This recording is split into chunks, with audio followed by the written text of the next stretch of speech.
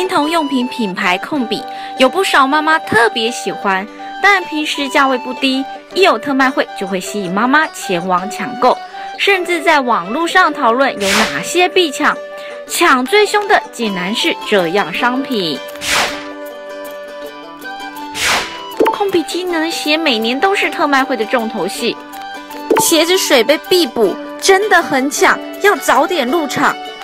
推荐鞋子每次去都抢翻天，童鞋、童鞋、童鞋，网友一致推荐冲进去，第一个要抢的就是童鞋。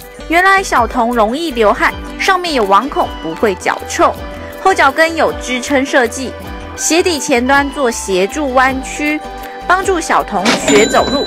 这些细节让童鞋成为特卖会最抢手的商品。单价高的手推车也是特卖会很抢手的单品。这款顶级旗舰车御杰伦，光原价已经卖超过一万三千台了，原厂准备停产，首次在特卖会福利品杀到五点七折，当然更抢手。